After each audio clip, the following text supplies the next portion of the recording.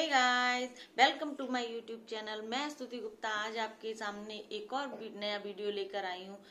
मेरा टॉपिक है आज का क्रैक हील्स क्रैक हील्स की समस्या मेरे साथ एक साल से ये बहुत बड़ी प्रॉब्लम थी कि मेरी एड़ियाँ बहुत बुरी तरह फट चुकी थी और सही नहीं हो रही थी। मैंने काफ़ी मार्केट का प्रोडक्ट यूज़ किए बट मुझे कोई आराम नहीं मिला। काफ़ी लोगों ने घरेलू नुस्खे भी बताए बट मुझे कोई रिलैक्स नहीं मिला। मुझे तो यह यहाँ तक ये लगने लगा था कि ये मेरी एड़ियाँ सही नहीं होंगी।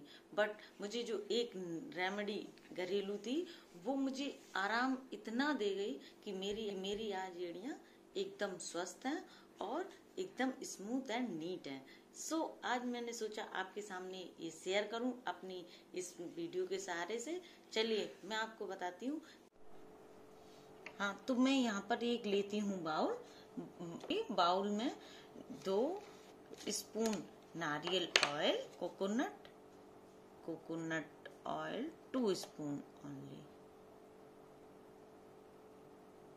two spoon नारियल ऑयल और उसके बाद इसमें डालेंगे हम टू स्पून एलोवेरा जेल ये मेरा होममेड एलोवेरा जेल है और अगर आप चाहें तो आप मार्केट का भी यूज़ कर सकते हैं।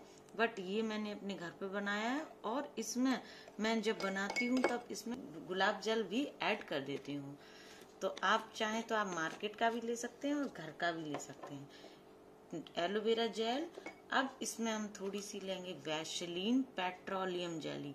ये बहुत अच्छा काम करती है हमारी हील्स को भरने के लिए। तो वन स्पून पेट्रोलियम जेली लेंगे और इसमें डाल देंगे। अब अब ओनली हाफ़ स्पून हनी डालना है। ओनली हाफ़ स्पून और इसमें एक विटामिन ई e का कैप्सूल जो आता है, वो निकाल के और इसमें ऐड कर लेते हैं।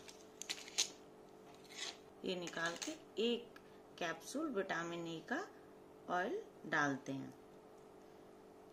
और ये फ्रेंड्स मैंने खुद ट्राई किया है तो मुझे पता है कि मेरे लिए ये बहुत फ़ायदेमंद हुआ था। क्योंकि मैं बहुत ही परेशान थी। मैंने बहुत लोगों से पता किया कि मुझे क्या करना चाहिए बट मैंने बहुत चीज़ें ट्राई कर ली बट कोई डिफरेंस कि आप तो मेरे पैर कभी सही नहीं होंगे।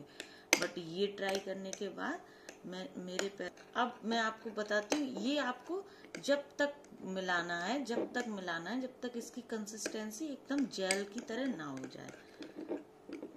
ये फ्रेंड्स जब तक आपको इतन, इतना फेंटना है कि ये एक सा हो जाए और फेंटते रहेंगे फेंटते रहेंगे जब तक ये इसकी जेल जैसी कंसिस्टेंसी अब ये तीनों डीप मॉइस्चराइजर का काम करते हैं।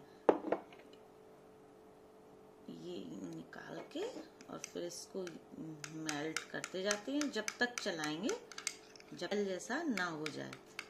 देखिए फ्रेंड्स इसकी कंसिस्टेंसी मिलने लगी है और ये जेल की तरह होता जा रहा है।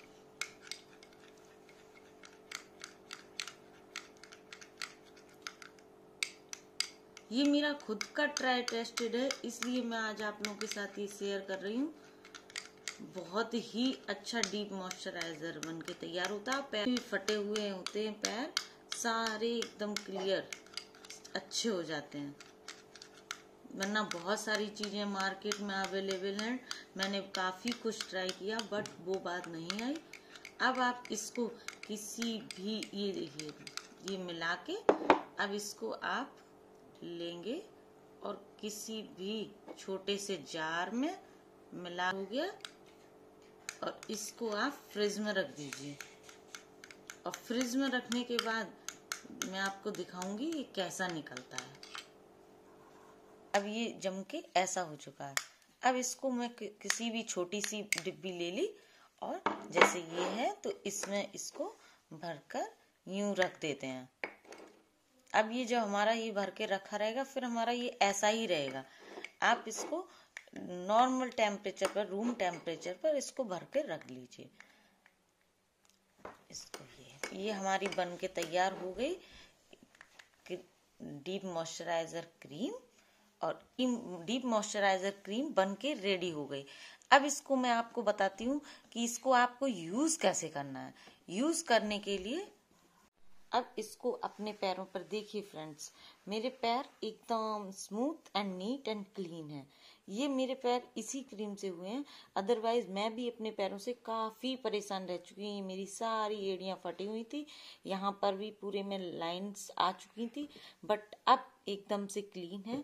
इसको लगाना कैसे? इसको हमें रात में इसको यूँ लेके और पूरे रब करके रात में सोने से पहले इसको लगा के और उसके बाद ये पूरे में ऐसे करके रगड़ना है, एड़ियों पे रगड़ना है और इस सो जाना है। बस। अब आप जब आप सुबह उठेंगे तो आपको एड़ियों में बहुत अंतर मिलेगा और अंतर मिलने पर करीब आपको इसको एक महीने कम से कम तो यूज़ करना ही होगा। तो आप देखेंगे एक महीने में ये आपकी एड़ियों को एकदम perfect and neat and fine कर देगा। अगर आपको मेरा वीडियो ये पसंद आ रहा है तो प्लीज़ इसको ट्राई ज़रूर करके देखिए, क्योंकि मैंने खुद इसको ट्राई किया है। ये था मेरा आज का नया वीडियो, और आप भी इसको ट्राई कीजिए। और 100 परसेंट ये ट्राई एंड टेस्टेड है, क्योंकि मैंने इसको खुद ट्राई किया है। अगर आपको इससे आराम मिले तो प्लीज़ कमेंट कीजिए और लाइक कर देना, सब्सक्राइब कर देना। Stay healthy, stay home, till then bye bye